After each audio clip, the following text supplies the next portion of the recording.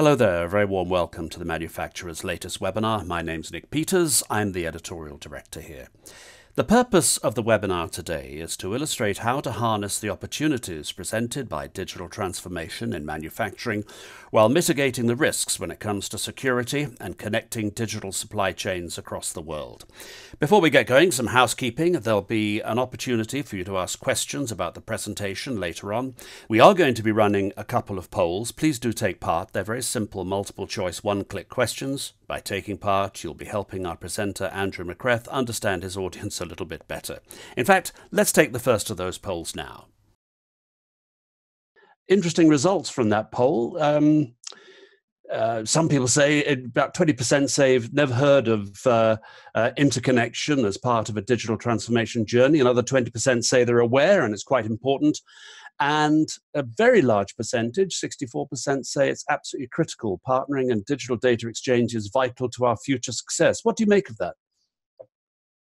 Well, I, I think that's all highly relevant. I mean, the insights there, thank you very much for polling on those. Um, it's what we're seeing in the marketplace today.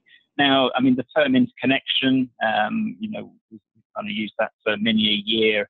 Um, but you know, customers that we talk to today often think about ecosystems, uh, uh, you know, and they don't quite uh, realise that there's an interconnection there. It's a relationship. Um, maybe that's data sharing, etc.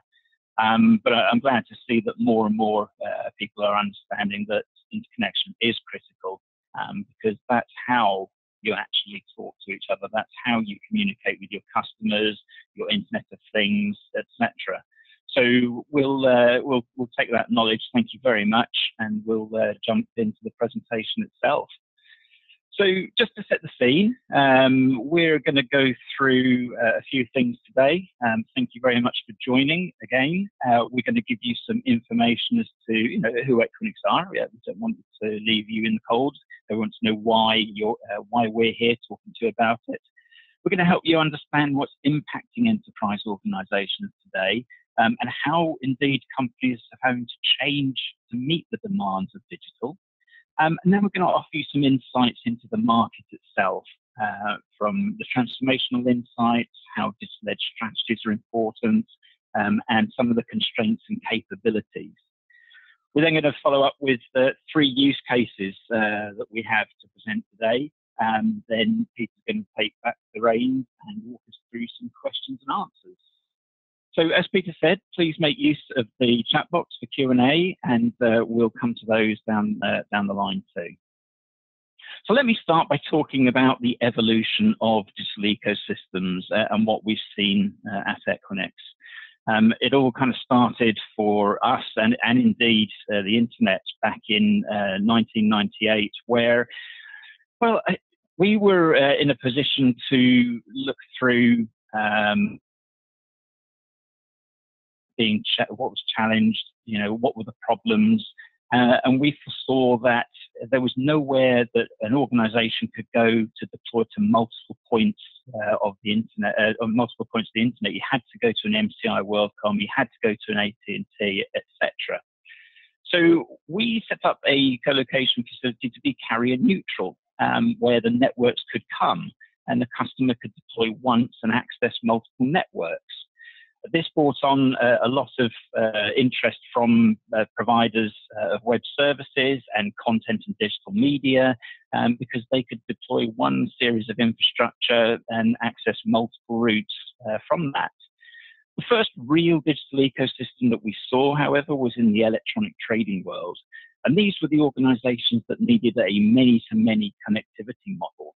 Um, you can imagine the, the trading, the high frequency trading, the bank settlements, etc. Uh, it's very time sensitive. So as we moved through this journey, we saw that the clouds uh, wanted to come and obviously sell to these types of uh, enterprises, and that was really a tipping point, probably six years ago now, um, where they started deploying their digital edge uh, at an Equinix location to access more customers. From then, it's just grown. Um, we are seeing the many to many digital ecosystems growing from manufacturing, healthcare, and life sciences, um, all the way through, uh, you know, to the traditional um, uh, enterprises from financial services, uh, etc. So it's a, a very growing, a very large growing ecosystem we've created today, and it spans the globe. Uh, we uh, are in five continents and 24 countries, and we have over 200 data centers around the world. But we play home to nearly 10,000 customers, and we provide three, uh, 300,000 interconnections. And that interconnection is somebody wanting to have a relationship with somebody else uh, for digital supply chain, for HR as a service, or whatever it is. So that is a very large number. Um, and in fact, if you put the rest of the companies, uh, put it in providing this type of service together, they don't even come close to this volume of interconnection. And that's why companies like Google, AWS, and Microsoft, and many others um, make Equinix their home and their digital edge um, point of presence so that consumers can directly connect with these cloud services going forward just to give you a bit of a landscape of uh, customers that have made their home with Equinix, um, these are the companies that built out IT exchanges and control points inside and on platform Equinix. They're using platform Equinix to directly connect to each other, either physically um, or virtually using software defined networking or our uh, Equinix Cloud Exchange Fabric. These are still growing. Uh, network and finance uh, in the 20s, 20% uh, growth uh, percentile and cloud and content in the 40th. But what does this mean? Well, the platform enables you to source digital services and providers, but it also helps you develop your own digital platform. But when your firm shifts to offer digital services, um, you automatically have access to the customers and partners around you, and you can connect to them dynamically. So, what's the key takeaway here? All of these customers have undergone some form of digital transformation, they have leveraged an interconnection oriented architecture to do so, and the number of companies adopting this architecture is growing rapidly. In fact, we've um, analyzed over 1,700 customer deployments around the world, um, not just with the customer and our uh, solutions architects, but also with the likes of Forrester and Gartner, and said, hey, you know, this is what we see going on. Um, can we make some use cases of this? Uh, and I'll talk a little bit about those later on too. So the first important piece to understand is that the whole world has gone digital. Um, a lot is impacting our businesses today. Uh, a lot is impacting the way consumers want to engage with us. Um, and indeed, me as a consumer of applications on my phone and my desktop um, are becoming highly transactional. There are certain applications, uh, Facebook and LinkedIn, if it crashed once a day or I had to restart it, I really wouldn't mind.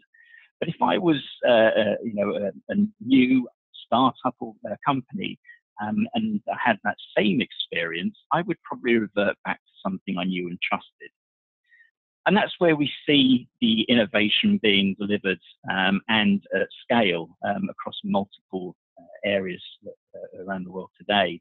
A lot of the, uh, I guess, socially aware um, uh, disruptive technologies would be around lift sharing and the, the wearables that we have that tell us how many steps we've taken, calories we've burned, where we've been.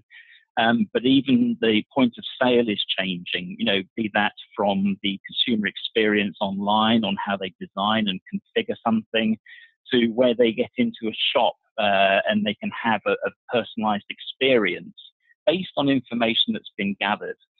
Um, and indeed, we see a lot happening in connected car. Um, you know, the connected car, it's not just about autonomous driving, it's about services being delivered in vehicle. You know, be that we're just advising you your brake pads need changing, and here are a list of local suppliers for you. To things like Spotify, uh, AirPlay, and Android Auto, etc. We also saw a lot of disruption in the uh, tourism and logistics uh, arena uh, over the past few years. Know, with Airbnb, don't own, they don't own anything, they don't sell anything. They literally uh, provide a brokerage service to rooms and homes that uh, people can go and stay in for a fee. So that's disruption, disruption itself, and there have been many organisations that haven't quite uh, managed to pivot on these. Uh, we could look at you know, retail with Woolworths and everything that's going on in the high street today with the Arcadia Group. Or we could look back on Blockbuster and Kodak and uh, you know how they failed to transform their business. So what we want to make sure is that everyone has the agility and the capability to make use of these new technologies, but more than that, that they are um, not caught behind uh, the next wave of transformation. They're ready to deliver at scale, and they have all uh, have access to all the cloud services they need to stay agile. So in this next section, we're just going to go through uh, some of the, the messaging that we're seeing in the, uh, the market trends. Uh, we're going to talk through the current state constraints um, and give you some insights from you know uh, research papers that we've uh, worked with Pricewaterhouse on uh, and others. So if we look through what we're seeing in the market today, there obviously manufacturing digitalization it boosts revenue, um, and it does that by being more efficient it does that by being more cost effective. Um, it also helps to reduce costs. So we see IT organizations in the manufacturing world actually becoming more of a revenue generation center as opposed to just being a bottom line cost on the business. They're bringing in uh, adaptive printing, they're bringing in IoT and AI machine learning uh, to help the operation of the wider business. They're not just providing servers, storage, network, and telephones anymore. They're actually engaging with the business with its requirements. They're also looking to anticipate future demands. Um, it's not, like I said, it's not just about having a project and requiring some infrastructure anymore. And it's not just about strategically outsourcing it to the right person. It's about delivering a platform of capabilities, um, leveraging, you know, maybe FaaS, maybe infrastructure as a service, and other platforms as a service, and having that built into your business operation. So that gives you a couple of areas uh, to consider. Firstly, you know, how you acquire data, how you distribute your architecture, and how you distribute your security around that architecture as well. Data allows these companies to anticipate their needs and meet them with different service offerings and go beyond the standard product delivery. The third point there uh, from the manufacturing trends report PwC produced, um, you know, it, it, talks through the traditional competitors now partnering via interconnection to provide higher value. And we see this a lot. Um, it used to be that people worked through omni-channel and digitizing their supply chain for sole business efficiency. But what we're now seeing is cooperation between vendors, uh, OEM suppliers, logistics companies, and the enterprise themselves working together to provide a synergistic solution that they can take to market that benefits all parties. A true win-win. So we mentioned interconnection um, a few times, and this slide really represents why interconnection is important. It's important because it's growing significantly faster than traditional MPLS and internet connectivity. It does that for a couple of reasons. Um, you imagine a network service provider in your data center or your offices they have to deploy hardware which costs significant money, um, and then they amortize that over a period of time, and that's your monthly bill. So that can scale from you know the tens of thousands upwards. The other side of it is uh, um, the internet. Um, a lot of us as users consume internet-based services, be that Box on my phone, uh, you know, be that OneDrive on my laptop when I'm out and about all of these things are very consumable and they make my job easier because I don't have to connect to a corporate network. I don't have to, um, you know, leverage certain uh, restrictions um, uh, based upon me. What I can do is simply access them. And that's going to grow. You know, that is going to grow considerably as more and more consumers adopt these services. But in connection itself um, is a much lower cost option when you're in the same data center as somebody else It gives you the capability to provide a one gig or a 10 gigabit fiber connection directly to that person.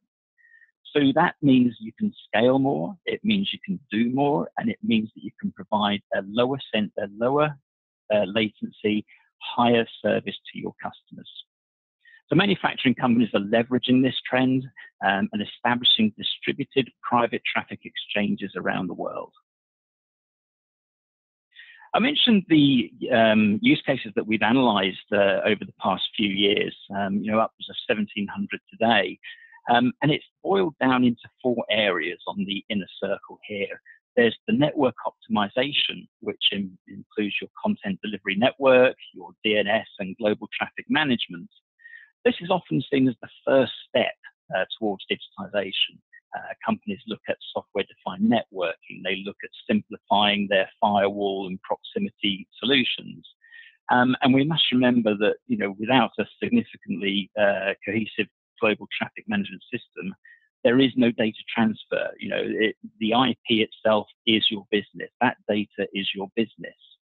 We then see organizations almost move through a maturity model and start to adopt infrastructure as a service, software as a service, such as, you know, Workday from HR, or maybe even uh, other platforms to provide fleet management and logistics in time. And then we also see the mobility and the web requirement coming from our users who you know, travel, uh, maybe even they hot desk. We still define those as distributed users. They're not tied to one machine all the time or one location all the time. And as you move through this maturity model, we start to talk about distributed security. I do have these people out there. I do have these clouds providing services to my business. How do I make sure that my data is not escaping? How do I make sure that I'm protected from uh, DDoS or intrusion protection? And then we look at distributed data. Um, and this is the ability to access the right data at the right time in the right geography. With GDPR, European Data Protection, uh, you know, Sarbanes-Oxley, everyone has some type of regulatory and compliance requirements for that country or, or even that continent. So we need to make sure that certain things don't come out of country, maybe personal information, maybe financial information. So we need to start thinking about the distributed data and how we analyze where it's being accessed and how it's being accessed. The common trend through all of these, as you'll see on the outside, is the word distributed. It does need to get everywhere, it does need to touch everyone, and it does need to do everything. So how do we uh, address this? How do we work through this? And indeed, we often have a conversation, you know, how do I move from legacy? I'm very familiar with a lot of the things that happen within my data center. I'm very familiar with how much it costs, how much the ongoing OPEX and CAPEX refresh are, and I'm fully aware that I've got to keep this available to my business at a manageable cost layer. But then there are other things that start creeping in, like the additional network costs to provide these services, and the fact that I'm bringing the world to me. Um, does that really scale going forward? There are a lot of sunk costs associated with this, um, and a lot of companies we are seeing today understand this constraint. Um, and indeed, they are looking to move to a, almost a cloud, purely cloud-based um, architecture. That works in some organizations, especially with the startups, um, you know, who have no budgets and they need to run a very lean uh, operating expense. But for those that are more established, they understand the need for proximity of the services that matter to the cloud, but retaining ownership of the base. Cloud can look very inexpensive, um, but uh, when it comes to it, you have things like the API access points, you have various other services associated with it. It's not just the CPU, memory, and storage. So there comes a tipping point where you have to understand that there is a lot you need to own, but that owned information, infrastructure, data, etc., needs proximity to the cloud being provided, uh, services being provided. So that's where Equinix talks through their hybrid multi-cloud model. Um, and a lot of this uh, is based on two areas. Firstly, cost optimization. You need to save money. You need to make sure you're spending it correctly. Um, and you need to make sure that where you're spending that money is, uh, is a secure environment. And the second side of it is the bandwidth capabilities. Now, with the internet, of course, uh, you are limited to your network service provider's connection to your office, um, and they can provide, uh, you know, very strong, healthy, uh, large connections, but at a cost. Within an Equinix data center, for example, their cost of a one gigabit connection would be between two and 300 euros a month uh, just for the connection. So you can see how that um, the data throughput on that is more cost effective than bringing the world back to your office. The other side of hybrid multi-cloud is the ability to access multiple clouds through a single connection. So what if you could have a 10 gigabit connection to the word cloud and then virtually slice up uh, that connection to multiple service providers? Maybe that's F5 Silverline for DDoS, Oracle Cloud for your business warehouse, you know, Azure, Google AWS for your front end services, all manageable through your private connection to this service. As it says, over 97% of all infrastructure as a service compute capacity is available either directly, uh, privately connecting through Cloud Exchange itself. So before we move on to the use cases uh, that we've got in hand, I'm just going to talk through some of the digital uh, trends that we're seeing today. With the rapid adoption of custom design, telematics, and advanced connected services, manufacturing companies are reinventing revenue and service models. To satisfy these emerging needs, data collection and uses must move closer to the source, at the digital edge. This strategy requires multiple control points to enable ubiquitous access and high-speed, secure data capture with multiple parties. So why are they doing that? Well, manufacturing digitization is accelerating uh, the revenue and reducing costs. We saw that earlier. Um, interconnection of manufacturing companies for collaboration, things, and data is becoming essential and indeed streamlining to multi-party information exchanges and real-time insights and capabilities are becoming essential to how uh, we deliver excellent service to uh, our intake customers today. So what are the constraints that we're seeing? Well, there is the throughput variability. The uncontrolled cost limits uh, of manufacturing profitability takes a dent and takes a toll today there is almost a linear innovation uh, within lots of organizations. It's not the it's it's stagnant. What it is is, is it is disconnected between the designers, the makers, and the supply chain. So we're looking for more collaborative um, capabilities to move this forward. A lot of the processes today are often siloed. And once you're siloed, it provides an inability to collaborate inside and outside the organization, which can be seen to hinder progress. And the biggest constraint we see today is the lack of consumer insight. Business archetypes tend to be monolithic. So what would we like our future state capabilities to be? We'd like controlled costs. We would like to provide the capability to continually optimize cost performance We'd like dynamic R&D, the ability to meet the needs of, and demands of our customers. Integrated supply chain has been talked about significantly, so we would like to better manage the inventory and pricing controls. And real-time insights. You know, what if we could control and customize and track production? Uh, what if we knew at that moment in time something needed changing? We have a, a great story we, we, talk about with the uh, energy market. Uh, it's around the drill head, you know, requiring changing every uh, every period of time when it becomes worn. Now they're at the point with IoT and data analytics where they can say, well, we'll do this at the next shift change because that will save an uh, downtime and will further optimize production. We know there's a window where we have to change it. Can it coincide with many other things? So we're working through a lot of those with our customers today. Um, and indeed, we're seeing peering customers uh, deploying into more locations to improve user experience and things uh, like data sharing, analytic capabilities.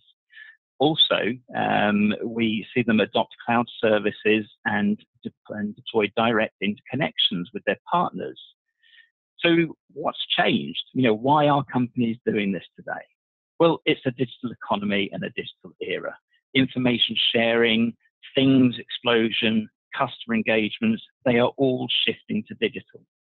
So what does this mean? Well, it means we have to have the need to improve user experience across more device types, in more locations, and pushing network controls and functions to the digital edge. So how do we help solve this? The main kicker here is usually around latency we have to reduce the transport costs by shortening the distance between users, between employees, and indeed between other enterprises so we can localize the traffic. This does a couple of things. You know, it takes a lot of the information and data off of your corporate network and puts it at the digital edge where these things meet. We also see that data sources are shifting to things and clouds. This requires a new architecture offering, direct interconnection to clouds, partners, and ecosystems with closer proximity to consumers and things is required. So we solve for complexity here. We direct connect and segment public and private clouds securely and more efficiently along with the partners. And we always call this a meet me at Equinix thing. Because at Equinix, this is where the internet exchanges sit, it's where the clouds sit, and it's where the customer's data sits. We also see the change in compliance requirements. They're getting higher, um, they're not getting less. The risk of security breaches with things and shifting workloads to clouds is changing architectures. It requires new security solutions. The integrated models require multi-party workflows and secure data exchanges with security controls in places where they're needed. So how do we help here? Well, we solve for the integration piece. We position the security components with the security ecosystem connectivity. I mentioned earlier that once you're deployed in multiple locations, do you need to have security endpoints at all those locations? You know, and what's the trade-off versus, versus doing that all centrally? And these are all types of things that come up in the security design. The other thing that's changed is the data exchange between things and partners and plants. And this leads to new information architecture and solutions being required. Large volumes of data must be accessed, moved, exchanged, secured, and protected across all stage uh, all devices across the stage in a compliant manner. You need to know where it is, who it's going to, um, and is it being used in the right way. And this only comes when you start solving for scale. When you think about how to manage data exchanges globally by growing to the hub to support the information exchanges, the analytics in a compliant hosting environment. So what I'm going to do now is just take you through uh, three use cases that we have today. Um, and the first one is from ASICS.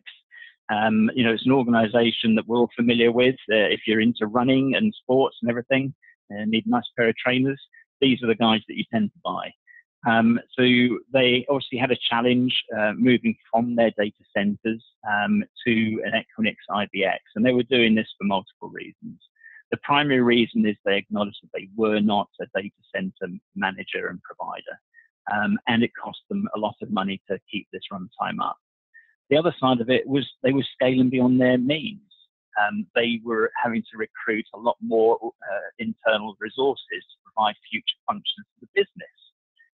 So what did they do? Well, they re-architected their solution based on Equinix Cloud Exchange Fabric.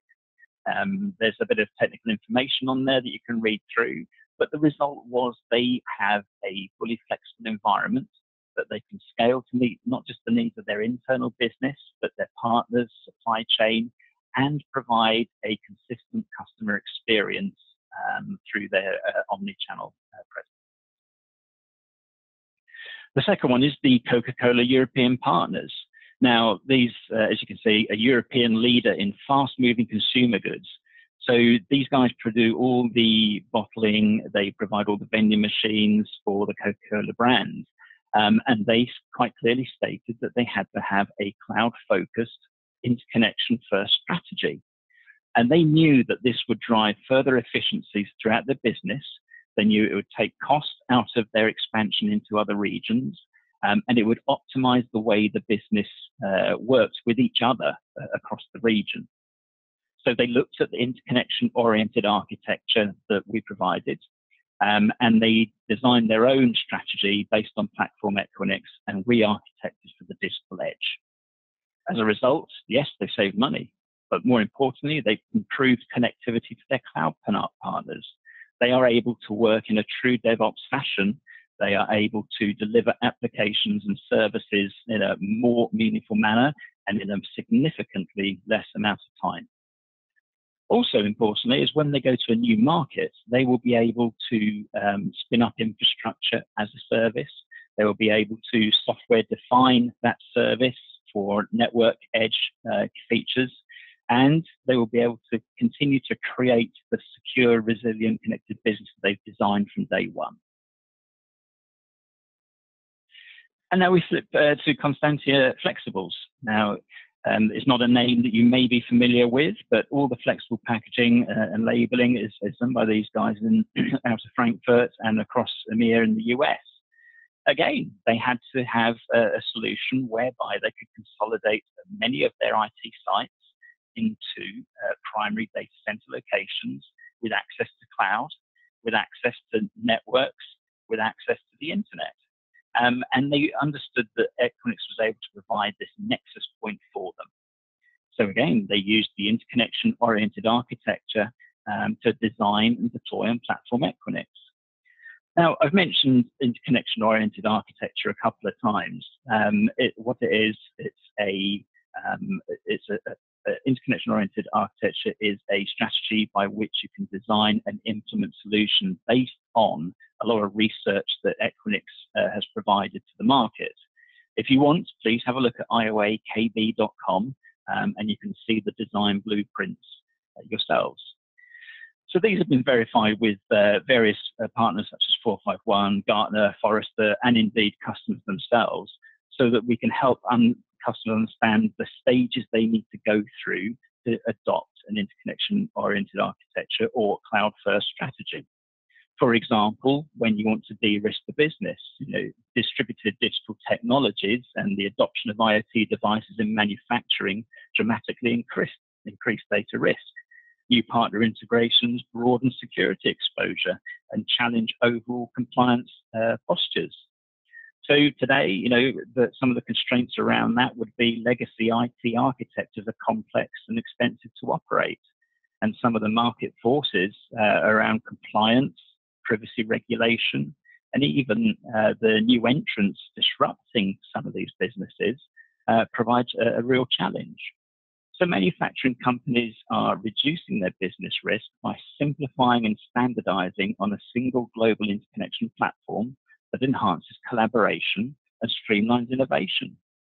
So if we have a look through some of these uh, uh, blueprints um, down the road, uh, please make sure you, you ask me about them again. Um, we can have a, a, look through not just the security layer, but the network layer, the application, and indeed how you bring all of this together uh, in a strategic architecture. So uh, on that note, uh, I think we're running to time. Um, I'm going to hand back to Peter. Thanks, Andrew. Um, yes, as you can see, thank you very much for that. Um, as you can see on the screen, we've got one more poll question. So uh, before we go to uh, a little bit of discussion about some of the issues Andrew raised, perhaps we can see that poll question. And uh, perhaps you could answer that just very quickly. Uh, click on those for us. Yes, I can see that uh, very strong preponderance, uh, two thirds at least, saying that uh, interconnection is going to be critical um, in digital transformation journeys. Andrew, yeah, that's about, uh, as I say, two thirds. Um, pretty much mirrors how it was at the beginning. Um, but an awful lot more people are aware now um, of uh, of the importance of interconnection. Uh, I imagine that's something that reassures you. Oh, it, it absolutely does. Um, and some of this is, you know, terminology. A lot of companies think, well, maybe I'm actually doing this and I'm just not calling it uh, what it is. Um, and then once you've identified what it is, you can um, understand its significance and where it's, uh, where it's important for your business going forward.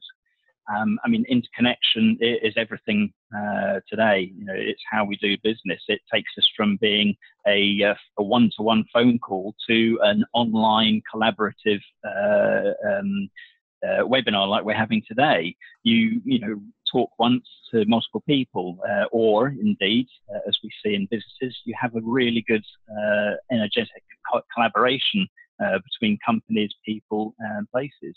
So yes, very good to see. I'm, I'm really intrigued, um, and I'm sure that uh, people who are focusing on ROI, which of course is massively important, it's easy just to take all this for granted. But uh, uh, how how do you actually measure the potential success of um, of going deep into this infrastructure layer um, because digital transformation has got so many facets to it from you know applications um, in, in your in your in your factory right the way through to in, uh, digital infrastructure how do you actually measure success A, very good question. And a lot of organizations that have a, a mature or advanced dynamic uh, approach to this, they will actually understand that it, it's not about how much IT is costing so much. Um, it's more about the fluid transfer of information, requirements, and execution um, that that company has. So we start to talk about understanding the multiple digital edges that customers have. One of them is going to be on their consumer base. One of them is going to be with their partners and suppliers. You know, another one is actually their business itself. So when you start to simplify uh, the infrastructure services being provided, when you start to simplify how they are consumed, um, and how you move into more of a dynamic service provisioning of these, you start to realize that you know there are ta- in, there are tangible cost savings to be had that you hadn't considered in the past. And that flows through into you know cost savings, but more importantly, uh, budget reinvestment in the right areas. And that can be for training for the next wave of technology. That can be for reskilling staff uh, to support the future mode of operation. So companies look at uh, more of a holistic model as opposed to just licensing, hardware costs, etc. Um, and they move into uh, more of the ITIL and the Six Sigma of efficiencies. You know, if I'm able to provide a tool that helps somebody work X percent faster, well, then there's more volume that can be put through there, and the velocity at which that uh, exercise happens increases, and thereby improves efficiencies and they start to measure that as well. So we see in a lot of business cases that yes, there is always going to be the procurement runtime and how much is this going to cost and save me. But more and more mature enterprises are now looking for, and how much more can I do? How much more capable will I be? And is that going to give me a competitive edge in the market as well? That, that's interesting. How, how do you think enterprise organizations will end up maximizing the use of their digital edge? So, uh, as I mentioned, there are uh, a few areas that you know you would call a digital edge. Um, there is the consumer side. You know, these are the customers that buy from you. How that how they adopt and how they consume your service is one thing. That has to be streamlined. It has to be efficient. It has to be performant. The customer experience is everything. Um, I know if I get in my car and the kids have been in the back, it's a real mess and it's not a comfortable journey for me. But once I've cleaned it at the Saturday, Sunday's drive is wonderful. So I need to have that type of uh, mentality when I'm thinking about you know, delivering customer service. It's the application, it's data, it's how much you can help them uh, with uh, the, their adoption of your service. The other side is your business. You know, how are they going to be more efficient going forward? how are they going to indeed help drive uh, customer satisfaction? And their customers are not just external, they're internal as well. And then, of course, there is the supply chain and the partner ecosystem. How can we make that more collaborative? How can we make sure that what we're doing will also help our partners, which in turn will reap rewards through cost optimization and significant service improvement? Yeah, I think the, the, the way this is obviously going to go is, is businesses see other businesses take advantage uh, of, of, this, the, the, tremendous power that interconnection gives them. Um, and, and they're going to be able to learn from what other businesses, maybe their customers or their suppliers, are, are, are doing. And that is the way uh, they, they can perhaps maximize their own potential. Absolutely right, Peter. And you know, manufacturers are uniquely positioned to interact directly with consumers across a variety of channels. They're able to servicize product offerings and gain new insights into new opportunities. They have this unique perspective and ability to harvest real-time customer and market data. Um, they deliver omni-channel predictive insights uh, which enables them to communicate cross channels and content to seamlessly work together regardless of the user experience channel. And they're also dynamically uh, able to adapt partner value chains. So this is seamlessly onboarding, offboarding partners uh, and providers to support innovative offerings uh, and meet consumer needs. We often talk about partner integration, um, but it's important to remember that you need to be able to egress from certain relationships as things change as new disruptors come into the market, you may want to adopt that over the one you have. So they may be key to your uh, strategy uh, and innovation, but how do you swap them out for somebody else? Well, Andrew, thank you very much indeed for that. I can uh, see that time is running away from us. So uh, before we sign off, I'd, I'd, like to learn a little bit more. And here I'm talking to um, our audience. Um, if you'd like to learn more about interconnection and the opportunities it offers your business, please just click on this question here, and uh, Andrew's team are going to get in touch with you directly. This is an opportunity for you to speak one on one with them about any of the issues raised. Uh, I'll give you a couple of seconds to do that. While we're doing that, just a reminder that we're going to send all registrants uh, a link to the on-demand version of this webinar over the next few days and that's going to include all our contact details uh, actually you can see them on the screen right there um, should you have any questions and uh, thank you very much indeed for uh, completing this uh, this little uh, questionnaire if you've got just a couple more seconds to do that, that'd be great. Thank you very much indeed. Um, a huge thank you to Equinix, a huge thank you to Andrew McCreath. Thanks, Andrew. Hope you enjoyed the presentation, Andrew. It, I, th I, thought it went really well. Thank you very much for having us today, Peter. Really appreciate it. Okay. Well, we hope you in the audience enjoyed the presentation. Uh, that's all from us here at the webinar for today. Thank you very much for listening. Uh, my name's Nick Peters. Uh, goodbye for now.